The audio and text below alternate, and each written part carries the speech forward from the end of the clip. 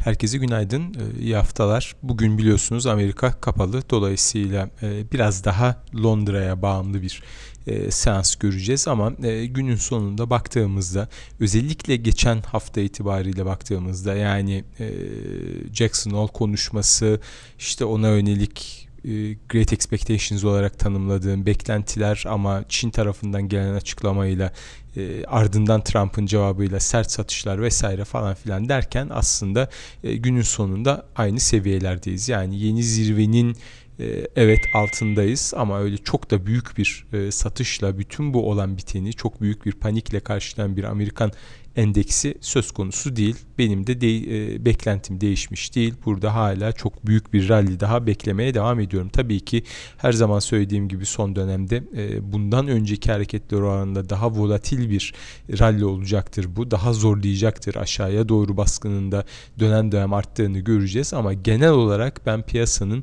aşırı kötümser olduğunu ve e, pozisyonlarının normalden düşük seviyelerde olduğunu düşünüyorum. Dolayısıyla yukarıya doğru bir ivme ki 50 günlük ortalamanın ve şu tepenin aşılması yani 2950'nin aşılması buna neden olacaktır. E, bu tip kenarda duran veya shortta duran veya negatif bakan kitlelerin piyasaya dönmesi neden olacak. Dolayısıyla 2950'nin üzerinde bence pozisyon açmakta e, fayda var diye düşünüyorum. E, bugün tabii e, biraz daha diğer ülkelerin veri akışına bağlı hareket edeceğiz ama akşam e, dün akşam biliyorsunuz e, Arjantin'de sermaye kontrolleri açıklandı. E, işte üçe ayırabiliriz aslında ihracatçılar açısından yapılması gerekenler, şirketler açısından yapılacak olanlar yani yurt dışına temettünün sınırlandırılması, para aktarılmasının sınırlandırılması, tasarruf bazlı dolar alması alınmasının engellenmesi ve kişilerin kişilere yönelik aylık 10 bin dolar limitinin getirilmesi gibi e, alma limitinden bahsediyorum. E, bazı önlemler var. Dün akşam paylaşmıştım bunun doğrudan TL üzerinde veya IM'ler üzerinde negatif bir etkisi olmasını beklemiyorum. Çünkü geçen hafta itibariyle zaten e, reytinglere baktığımızda piyasanın bonoyu fiyatlama tarzına baktığımızda Arjantin'de bir default fiyatlanmıştı. Ama e, özellikle para çıkışının engelleniyor olması biraz daha nakde geçmek isteyen e, fonlar açısından yavaş yavaş diğer ülkelerden pozisyon azaltmaya, diğer ülkelerde temkinli olmaya doğru yöneltebilir. Dolayısıyla e, tekrar söylüyorum dünkü dolaylı etkisi doğrudan etkisi olmaz ama dolaylı etkisi olur görüşünü hala koruyorum. Ee, tabii IMF'in oradayken bütün bunların oluyor olması da e, diğer bir önemli husus. Dolayısıyla e, bir anda bize karşı bize yönelik bir spekülatif saldırı olmayacaktır. Ama bu tip adımları piyasa genelde tek bir hamam böceği olmaz. Diğer ülkelerde de yavaş yavaş problem çıkacaktır şeklinde algılar. Dolayısıyla e, riski limitlemek için bir adımdır. Şimdi tabii e, her zaman söylüyorum önümüzdeki haftalarda ECB kaynaklı veya FED kaynaklı atılan adımların ne kadar olumlu olduğu, gelişmekte olan ülkelere nasıl para yağacağına dair e, analizler okuyacaksınız. Bunlara çok ağırlık vermemek lazım. E, kalıcı olmayacaktır bu tip iyimserlikler. Dolayısıyla biraz daha gelişmekte olan ülkelere olan fon akımlarını da kısa vadede olmasa bile orta vadede biraz daha temkinli olarak değerlendirmek gerekir diye düşünüyorum. Sabah saatlerinde Çin tarafından gelen bir veri vardı. E, aslında isterseniz e, dün daha doğrusu önceki günden gelen bir e, veri vardı. Onu da hemen e, paylaşayım. E, detaylarını geçtiğim için e, cumartesi günü ve bu sabah üzerinden fazla gitmiyorum. 50.4 görüntü olarak iyi bir rakam ama detaylarda e, bazı zayıf zayıflıklar e, görüyoruz. Burada tabii bizim asıl baktığımız yavaş yavaş e, geçelim e, nasıl bir fixing olduğu tarafı buradaki e, fixingle beklenti görüyorsunuz 7.09'ların e, üzerinde bir beklentiydi hatta 7.10'ların üzerinde beklentiler de e, söz konusu ama Bank of China'nın gerçekleştirdiği fixing 7.0883'ten yani piyasanın beklediğinden daha kuvvetli bir fixing ile karşı karşıyayız. Öncekinden daha zayıf bir fixing olsa bile. Dolayısıyla piyasa bunu olumlu olarak değerlendirdi. Her ne kadar hala bandın önemli bir kısmını kullanıyor olsak da e, görüyorsunuz fixing 5 e, 7.0880'lerde ama bant hareketi nedeniyle 7.16'lardan geçen bir e, fixing var. Yine de offshore tarafa baktığımızda 7.1680 yani spread'in de çok fazla açılmadığını görüyoruz. Tabi e, bayağı bir spekülasyon var. İşte sabahki mailimde de paylaştım. Çin'in rotasyon olarak tabir ettiği e, bölgedeki e, askeri üsse gönderdiği askerleri Hong Konglular daha ziyade buradaki askeri kuvvetin arttırılması e, olarak tanımlıyor. Dolayısıyla buna e, dikkat etmek gerekir. 1 Ekim öncesinde bir hareket beklemiyor piyasa. Çok ciddi bir şok olacaktır ama yine Hong Kong dolarında da görüyorsunuz forward pointlere bakıyoruz. Forward pointler üzerindeki baskının en azından son e, bir yıllık dönemde veya şu 2016 hareketine kadar bir yılı aşıyoruz.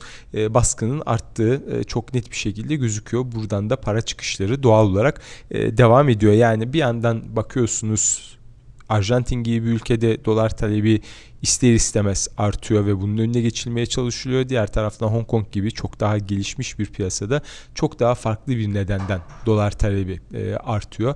E, daha sonra e, biraz daha detaylandıracağım. Merkez bankaları Çin dahil e, Amerikan tahvillerini satıyor görüntüsü var ama Fed'in hesaplarına baktığınızda daha farklı bir hesap üzerinden bir operasyon var. Daha talebin arttığını görüyoruz. Dolayısıyla sadece hazine tahvili üzerinden bakmayın. Dolar talebine diğer bazı e, Fed'le olan ilişkide e, açılan hesaplarda dolar talebinin arttığını çok net bir şekilde görebiliyoruz.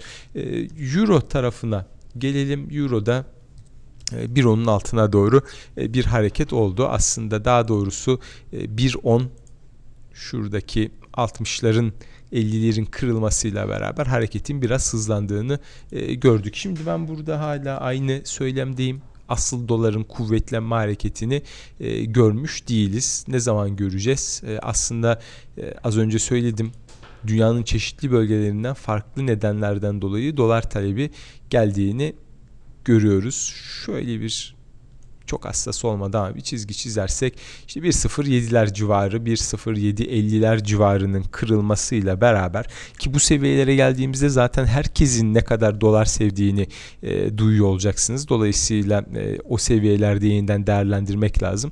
Ama bu seviyelere gelmesiyle beraber biraz daha işin rengi değişecektir. Muhtemelen bir kırılma da olacak ama kısa vadede işte birkaç ay önce veya geçen senenin e, veya e, sene başında da olduğu gibi FED faiz indirecek, dolar kadar değer kaybedecek tarzı beklentiler biraz daha baskın olabilir piyasada. E, ama yine de yavaş yavaş e, rüzgarın değişmeye başladığını hissediyor olmanız lazım. CFTC pozisyonlarına bir göz atalım. Bu taraftaki pozisyonlarda çok önemli bir hareket olmamış. Dolayısıyla üzerinden çok gitmeye gerek yok. Çünkü ortalamaya oldukça yakın seviyelerdeyiz. E, görüyorsunuz. Burada aslında Japon yeni tarafına bakmak biraz daha anlamlı olabilir. Şu anda aslında şov e, Yuan tarafından gidiyor ama e, Japon yeni her zaman önemli. E, görüyorsunuz burada da ortalama diyebileceğiniz ortalama aslında burada üst banda yakın e, aşırıya yakın seviyelerde ama bir pozisyonlanma var. Bu da tabi e, bir anda terse dönme hareketine de neden olabilir. Göz önünde bulundurmak lazım diye düşünüyorum. Pound tarafına değineyim mi e, çok emin değilim. Çünkü ne kadar e, ekonomik ne kadar siyasi çok belli değil. Geçen hafta zaten detayları erteleme ile ilgili bir dedikodu beklenti olduğunu paylaşmıştım. Ardından bunun realize olduğunu, gerçek bir haber olduğunu e, gördük. Ayın 3'ü itibariyle yeniden tartışmalar başlayacak. Parlamento bir süreliğine geri dönüyor. Dolayısıyla burada hala aynı görüşteyim. Yani e, eğer e, bir olumlu çözüm bekliyorsanız e, çok anlamlı anlamsız değil. Burada out of the money opsiyonlarla bir erken seçime veya e, 31 Ekim'in ötelenebileceğini oynamak bence mantıklı. E, ucuz opsiyonlar tarafına e, bakmamız gerekiyor. E, ama bu iş bitti artık parlamentonun da yapabileceği bir şey kalmadı diyorsanız o zaman 1.15'lere doğru bir geri çekilme. E, hatırlarsanız referandumun ilk e, çıkışla sonuçlandığında verdiğim bir hedefti 1.15 oraya doğru hareket devam edecektir. Dolayısıyla bu sizin biraz daha e, siyasi yaklaşımınıza bağlı, analizinize bağlı olacak. E, çok fazla bir şey söyleyemiyorum pound'un buradan nereye gideceğine dair ama 1.15'lere doğru bir hareket olursa o zaman çok iyi bir fırsat vereceğini söylemek lazım. Tabii FTSE tarafında da bunun yansıması olacaktır. E, onu unutmamak gerekiyor. Altın tarafına gelirsek altın tarafında biraz daha aslında e, derin bakarsak altına şurada ara ara dolar dışı bakmakta da fayda var. Şuradaki euro hareketi aslında altının nasıl bir seyir içinde olduğunu gösteriyor. Eski zirvesini yani 2011-2012 zirvesini aşan bir altın var Euro bazında e, baktığımızda. TL bazında bakmaya gerek bile yok. Zaten e, 2011 zirvesi diye bir şey yok. Şu anda baktığınızda zirve 2018'deydi. Onu çok net bir şekilde aşmış durumdayız. Pound bazında baktığımızda keza yine benzer bir durum var. 2011 zirvesini aşan bir altında karşı karşıyayız. Japon yeni tarafında 2011 zirvesini aşan bir Japon yenile karşı karşıyayız. Yani aslında burada iki şey görüyorsunuz. Bir altın yükseliyor. İki dolar tarafında da dolar diğerleri üzerinde ezici bir e, baskısı kuvveti var. Dolayısıyla e, hepsinde yeni zirveler yapan altın henüz dolar bazında e, 1900 zirvesinin altında bir yerde e, seyrediyor. Haftalık bazda şuradan bir göz atalım. E, görüyorsunuz yavaş yavaş bir sıkışma söz konusu. Günlük bazda baktığımızda da bir sıkışma söz konusu. Şurada önümüzdeki günlerde kuvvetli bir e, hareket görmemiz söz konusu olacak. E, hala göstergeyle bir uyumsuzluk var. Dolayısıyla ben e, temkinli bakıyorum.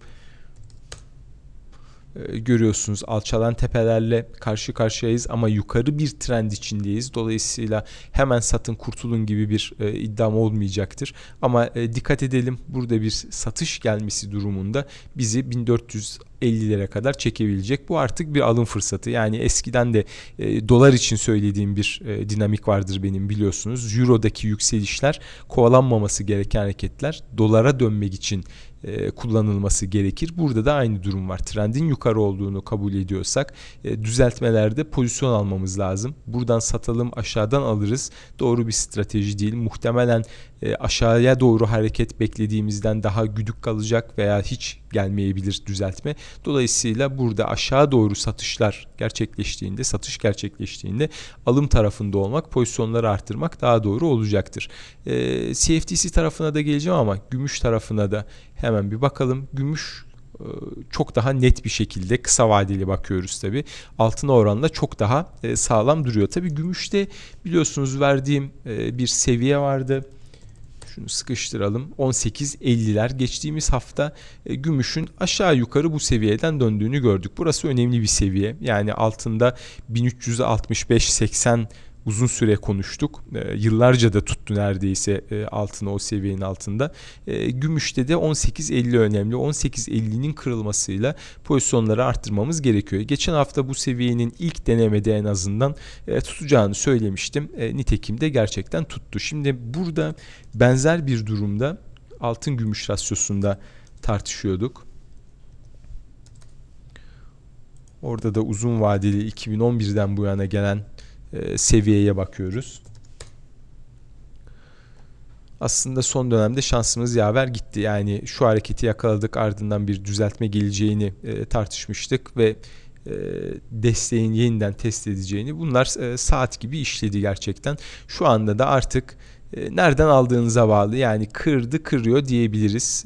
Destek seviyesinden dönüyor gibi bir resimde var. Ee, eğer bir satış gelecekse gümüş biraz daha hızlı satış yiyecektir. Dolayısıyla buradan e, tekrar 85'e doğru bir hareket görebiliriz. Ama önümüzdeki günlerde yapılması gereken gümüşte 18.50'yi izlemek üzerinde net bir kapanışla pozisyon arttırılabilir. Burada da bir kırılma olup olmadığına bakmakta fayda var. CFTC tarafına çabucak bakalım.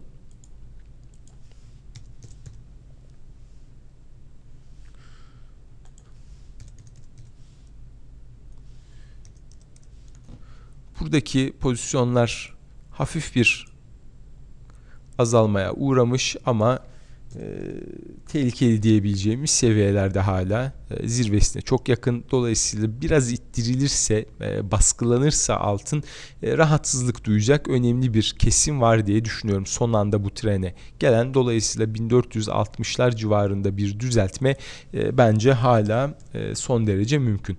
Gümüşün de resmine hemen bir göz atalım. Burası altından e, daha az kalabalık bir trade'ti. Tabii ETF tarafındaki e, yükselişi hiç söylemiyorum bile. Orası inanılır gibi değil. Ama şurada bakarsanız hala burası biraz daha e, az kalabalık bir trade diyebiliriz. Yani 2017'de altındaki yeni zirveye yakınız. Şu anda ise bu seviyenin tam altındayız. Tabii şu resmi tekrar göstermekte fayda var. Burada Çin'in de önemli bir katkısı var. Çin gümüş kontratlarında da çok ciddi hacim olduğunu görüyoruz. Ama şu görüntü e, zannedersem yani gümüşün 50 dolar olduğundaki görüntüden e, çok daha kuvvetli bir alım geldiğini görüyoruz. Dolayısıyla 18.50'nin e, önemini tekrar vurgulamak isterim. Platinum tarafında yine bir hareketlilik görüyoruz son günlerde. Burada palladium platinum rasyosunda biliyorsunuz bir abartılık, aşırılık vardı. E, yaklaşık bir iki ay önce bir videoda paylaşmıştım onu. Sonra çok update etmedim ama burada da görüyorsunuz e, tabanda olan bir platinyumla karşı karşıyayız. E, yukarıya doğru biraz daha ittirmesi gerekiyor. E, bunun tabi değerli metal tarafı da var, endüstriyel kullanımı da var. E, ama hani e, takip ediyorsanız burada da güzel bir hareket yakalanması bence mümkün. Özellikle pair trade olarak e, bakarsanız şurada ikisinin oranını bir tekrar e, görüyorsunuz. Çok aşırı diyebileceğimiz palladium'un baskınlığı vardı. Şimdi tekrar biraz daha aşağıya doğru gidiyor ama ben e, açıkçası gümüş tarafında kalmayı, gümüş pozisyonlarımı ayarlamayı tercih ediyorum. Amerikan tahvillerine de göz atarsak yine 1.50'ler civarındayız. Bugün Amerika kapalı olduğu için çok önemli bir hareketlilik burada olmayacaktır. Ee, İtalya tarafında biliyorsunuz hükümet kuruldu. İtalya'da bile birin altına doğru kaymış durumdayız. ECB toplantısı öncesi bazı ECB başkanlarının çok agresif bir kuantitatif easing'e gerek olmadığına dair açıklamalarını duyuyoruz. Bu belki sınırlı bir e, satış getirebilir ama buradaki asıl hareket e, para politikasıyla mali politika birbiriyle çarpıştığında yaşanacak. Şu anda e, büyük bir tuzağın içine doğru e, ufak ufak herkes girmeye devam ediyor. Tabii artan bir e, eksi getirili tahvil dünyasıyla karşı karşıyayız. 17-18 trilyon dolarlar şeklinde gidiyoruz. Bu paranın risk alma gibi bir isteği yok. Dolayısıyla Amerika e, 25 bas puan FED faizleri indirdiğinde de bu para çıkıp oraya buraya saldırmayacak. E, lütfen e, buna dikkat edin. E, burası büyümeye devam edecek ta ki e, yapılabilecek bir şey olmadığının anlaşılması veya dediğim gibi mali para politikası çarpışmasına kadar. Bitcoin tar pardon e, petrolü unuttuk. Petrolde aslında söyleyecek çok yeni bir şey e, yok. Suudi Arabistan alttan desteklemeye çalışıyor. Büyüme ile ilgili kaygılar da üstten baskılıyor ama 55-60 bandı olarak tabir ettiğim bantta hala devam ediyoruz. E, burada bir değişiklik yok benim görüşümde. Yani en azından kısa vadede ben o e, resesyon e, düşüncesinin abartıldığını düşündüğüm için işte geçen hafta gelen büyüme verisinin içinde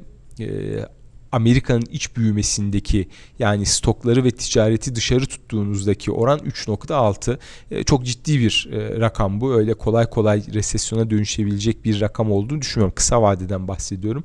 Dolayısıyla e, petrol tarafının da Çin'den gelen desteklerle e, 55-60 bandını tutabileceğini düşünüyorum. Burada da aşırı diyebileceğimiz en azından geçen sene bize çok güzel satış fırsatı e, veren abartı longlarla karşı karşıya değiliz. Dolayısıyla petrolde 55-60 bandı trade'ini korumakta fayda var diye düşünüyorum. Bitcoin tarafına gelirsek Bitcoin'deki e, sıkışma hala devam ediyor. 10.400'ler ilk aşılması gereken seviye. E, bunu aşamadığımızı görüyoruz. Tabi aşağıya doğru biraz baskı artmaya başladı. Dolayısıyla şurada oluşan şu görüntü 8900'ler kırılmadığı sürece bir problem yok ama e, şu görüntü biraz rahatsız edici olması lazım. Yani şuradan biraz daha kuvvetli bir yukarı hareketle karşı karşıya olmalıyız. Genelde paylaştığım şimdi burada e, girmeyeceğim. Zaten Bloomberg'un kendisinde de yok ama Bitcoin teknik göstergelerinde henüz rally'nin bittiğine dair bir işaret almıyorum ben. Dolayısıyla e, 8900'de kırılmadığı sürece yukarıya doğru bir hareketin 10.400'leri kırarak yukarı devam edecek bir hareketin e, gelmesini bekliyorum. E, burada vadeli tarafta aslında ciddi aktivite olduğunu görüyoruz. Tabi BAKT öncesi bir e, aktivite de olabilir, spekülatif aktivite de olabilir. E, görüyorsunuz long pozisyonlara baktığımızda e, hafif bir toparlanma söz konusu.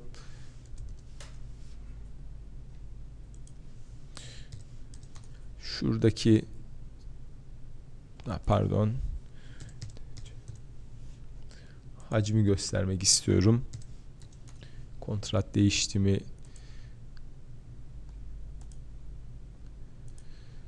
Ee, ciddi bir e, artış var. Son dönemlerin en yüksek e, artışıyla karşı karşıyayız bu tarafta. Open interest tarafı da e, fena gitmiyor.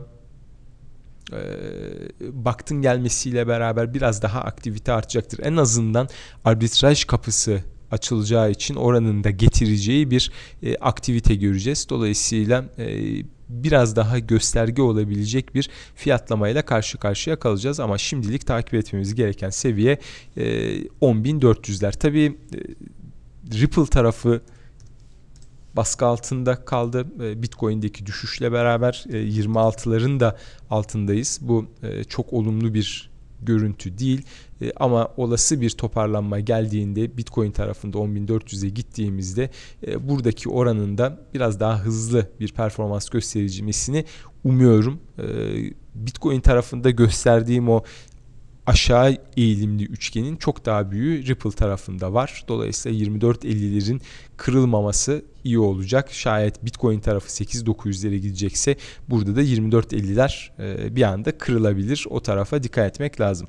E, TL tarafına gelelim. E, tekrar söylüyorum dün akşam söylediğim gibi Arjantin haberinin e, doğrudan emerging marketlar üzerinde bir etkisi olmasını beklemiyorum. Ama dolaylı olarak baktığımızda e, orada sıkışmaya başlayan e, yabancı fonların risklerini biraz dengeleme adına diğer taraflarda satış yapmak durumunda kalabilirler. Veya bunun yavaş yavaş bulaşıcı bir etkisi olacağını düşünen riskini azaltmak isteyebilir. O açıdan bir negatif etkisi olacak diye düşünüyorum.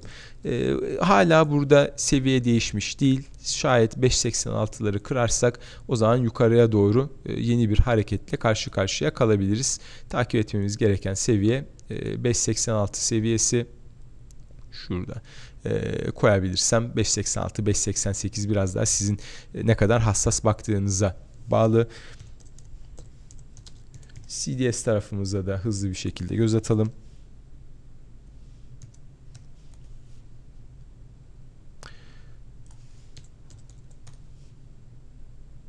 Görüyorsunuz üst banda e, gelmiş durumdayız. Buradan e, bir satış gelip gelmeyeceği önemli olacak ama benim buradaki e, beklentimde yavaş yavaş yukarıya doğru gitmesi önümüzdeki haftalarda yani 12'sinde zaten ECB toplantısı var. İki merkez bankasının gevşemeye gitmesi, indirime gitmesi riskin azalacağı şeklinde e, algılanmamalı diye düşünüyorum. Bu merkez bankalarının gevşemeye gitmesi zaten riskin artmasından kaynaklanan e, bir gevşeme. Dolayısıyla e, olası geri çekilmelerin çok uzun vadeli olacağı e, görüşünde değilim. Bir tek istisnası var elbette Çin'le ilgili Amerika'nın e, şu andaki gelgitleri bırakarak net bir anlaşmaya gelmesi elbette e, global olarak her şeyi etkileyecektir. O zaman tabii Fed'in stratejisi de değişecek ama çok önemli değil. Ana ekonomik göstergeler yukarı döndükten sonra Fed faiz arttırabilir. Geçtiğimiz günlerde paylaştım. O dönemlerde emerging marketlar yukarı gidiyor zaten pazarların büyümesinden dolayı. E, o senaryoyu bir kenara bırakırsak faiz indirimleri, riskin artmasından kaynaklanan indirimler e, riskin artmasını çok göğüsleyebilecek indirimler de değil. Çünkü e, ticaretle ilgili bir konuda Powell'ın kendisi de söyledi. Fed'in yapabileceği çok fazla bir şey yok veya Hong Kong, Arjantin konusunda Fed'in yapabileceği çok fazla bir şey yok. Dolayısıyla gevşemeleri ben hala e, temkinli karşılıyorum. Herkese e, iyi haftalar diliyorum.